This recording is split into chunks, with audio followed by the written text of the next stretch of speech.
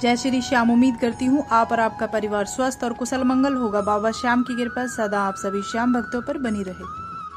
आज की इस वीडियो में चर्चा करूँगी रमा एकादशी के व्रत की। एकादशी कब है? शुभ समय क्या है? और व्रत का पारण कब करना है? हम इस एकादशी का व्रत कैसे करें? ये सारी जानकारी आपको इस वीडियो के माध्यम से दी जाएगी। कार्तिक मास की कृष्ण पक्ष की एकादशी को रमा एकादशी के नाम से जाना जाता है। इस बार रमा एकादशी 9 नवंबर को मनाई जाएगी। व्रत पारण का समय है। 10 नवंबर को छह बजकर बत्तीस मिनट से नौ बजकर पैतीस मिनट तक आप एकादशी व्रत का पारण कर सकते हैं। व्रत के नियम। सुबह ब्रह्म मुहूर्त पर उठकर स्नान आदि कर लें। हाथ में जल लेकर व्रत का संकल्प लें। अपना नाम और अपना गोत्र स्मरण करें। यदि आपको गोत्र याद नहीं है, तब आप कश्यप बोलकर भी इस व्रत को शुरू कर सकते हैं। और संकल्प लें कि मैं आज रमा एकादशी का व्रत कर रही हूँ या कर रहा हूँ। एकादशी व्रत करते समय हमें संकल्प ज़रूर करना चाहिए। क्योंकि व्रत का संपूर्ण फल तभी प्राप्त होता है। रमा एकादशी व्रत का विशेष महत्व है।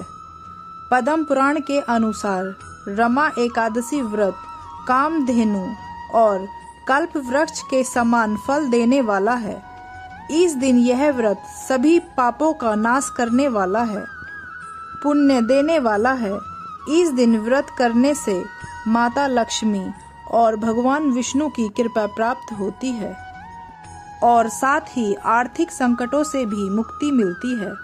इसलिए हमें रमा एकादशी का व्रत मन क्रम वचन से और श्रद्धा के साथ करना चाहिए। आज मैं आपको एक कथा सुनाने वाली हूँ। राजा मुचकंद की बेटी का नाम चंद्रभाग, उनके पति का नाम शोभन। उनका शरीर बहुत ही दुर्बल था। वो व्रत नहीं कर सकते थे। पर राजा मुचकुंद के यहाँ तो एकादशी व्रत का बड़ा महत्व, प्रभाव था। वो कहते थे कि जब एकादशी का व्रत आता है, तब उस दिन पशुओं को भी अन्न नहीं देते थे। और कहते थे कि पशुओं को भी एकादशी का व्रत करना चाहिए। तब शोभन ने एकादशी के व्रत का संकल्प लिया। तब पत्नी के मना करने के उपरांत भी पति ने एकादशी का व्रत किया। तब एकादशी के व्रत रखने के बाद उनकी मृत्यु हो गई।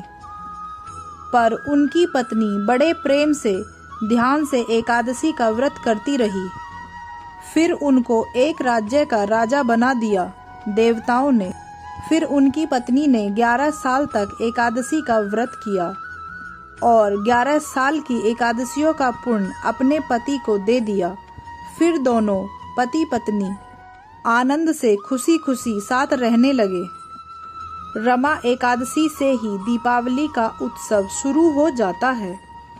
इस एकादशी का नाम है रमा और रमा नाम है माता लक्ष्मी जी का, जिनके जीवन में धन का अभाव हो, धन संपदा नहीं आती है। उनको एक उपाय रमा एकादशी के दिन ही करना चाहिए। तब चलिए मैं एक उपाय बताती हूँ। जो कोड़ियाँ होती हैं, वो ग्यारह कोड़ियाँ लेनी हैं। तब उन कोड़ियों पर हल्दी और केसर का लेप लगाकर दीपावली वाले दिन माता लक्ष्मी को अर्पण करें। जब आप उनको माता लक्ष्मी को अर्पण कर दें, याद रहे, ये आपको दीपावली के दिन ही करना है। और लेप कब लगाना है? एकादशी के दिन। रमा एकादशी के दिन लेप लगाना है। दीपावली के दिन माता लक्ष्मी को चढ़ाना है। जब आप माता लक्ष्मी को ग्यारह कोड़ियाँ चढ़ा दें, दीपावली के दूसरे दिन पीले या लाल कपड़े में उन कोड़ियों को बांधकर अपने घर की तिजोरी में रख दें। या जहाँ पर भी आप अपना पैसा रखते हैं, वहाँ रख दें। अगर आप ये उपाय करते हैं, तब आपको धनतेरस के दिन से ही लाभ दिखना शुरू हो जाएगा। आपके घर में धन की वृद्धि होगी। तब आप रमा एकादशी का व्रत ज़रूर करिए और साथ में ही इस उपाय को ज़रूर करें, ताकि आपको कभी धन का अभाव ना हो और हमेशा आपके घर में सुख समृद्धि बनी रहे। इस तरह की वीडियो देखने के लिए और बाबा श्याम से जुड़ी जानकारी पाने के लिए खाटू के राजा श्याम चैनल को सब्सक्राइब करें और ज़्यादा से ज़्यादा श्याम भक्तों के साथ शेयर करें, ताकि वो भी बाबा श्याम से जुड़ी जानकारी प्राप्त कर सकें। अगर आपका कोई सवाल हो तो कमेंट करके ज़रूर बताएँ। हारे का सहारा बाबा श्याम, हमारा जय श्री श्याम।